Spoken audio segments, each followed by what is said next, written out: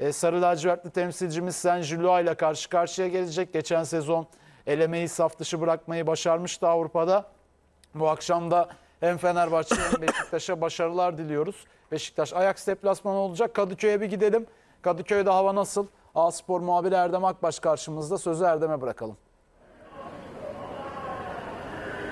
Koray Baloğlu iyi yayınlar, selamlar. Stüdyoya da selamlar ayrıca iki değerli konuğuna buradan selam yolluyoruz Kadıköy'den. Ee, tabii Fenerbahçe için önemli bir sınav Avrupa'da sahne alacak.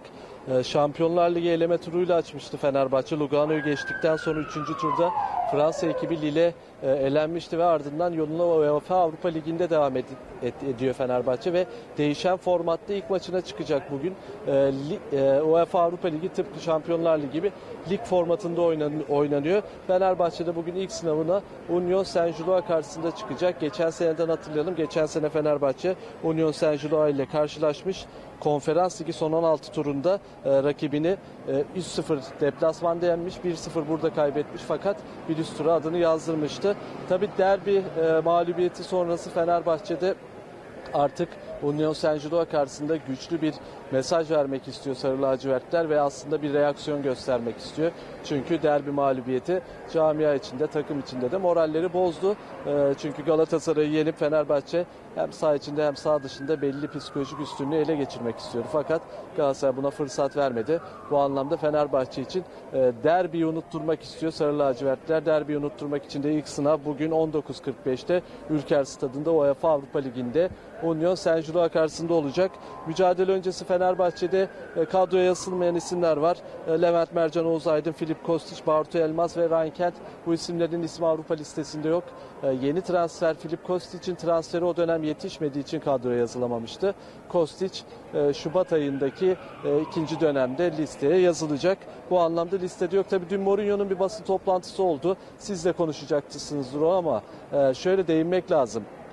Birçok konuya değindi Mourinho. E, sorumluluğu biraz kendi üstüne aldı. Derbiyle alakalı kendi hatasının olduğunu söyledi. Aynı zamanda rotasyon yapmayacağım sadece bazı dinamikleri değiştireceğim dedi. Bu mesajı önemliydi çünkü Fenerbahçe'de kadroda bazı değişiklikler bekliyoruz. Ve bugün maç üzerinde değil aslında e, lige de bu e, rotasyonun bu değişikliklerin ilerleyen dönemde çok daha yansıyacağını ifade edelim. İrfan Can Kahveci ilk 11'de olacak dedi. E, yine Mourinho'nun açıklamalarından biriydi. Fenerbahçe'de sakat ve cezalı oyuncu yok. Ee, Osay Samuel takımla çalıştı. Bugün onun o ilk 11'de olmasını bekliyoruz. Maksime'nin Galatasaray derbisinde e, çok fazla darbe almıştı ayağına ve bu sebeple bir ağrısı oluşmuştu. Ama Maksimen dün de takımla antrenmana çıktı ve aslında e, kadroya girebilir ama oynaması çok mümkün gözükmüyor çünkü antrenman eksiği var. Oyuncu riske edilmeyecektir bu anlamda. Ben kadroda olma ihtimalini de çok düşük görüyorum Maksime'nin. E, diyelim Fenerbahçe'nin muhtemel 11'ini paylaşayım ben.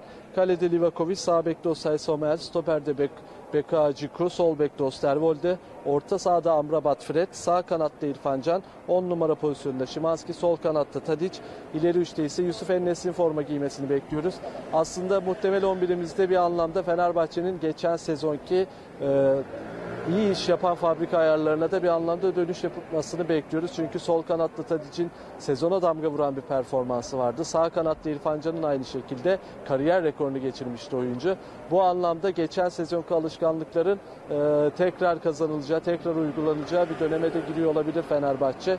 E, muhtemel 11'imiz bu şekilde. Kadıköy'de henüz çok ciddi bir kalabalık yok. Hafta içi olduğunda vurgulayalım. Bu sebeple e, maç saatlerine doğru kalabalık artacaktır. Kadıköy'den aktaracaklarım şimdilik bu kadar Koray Baloğlu.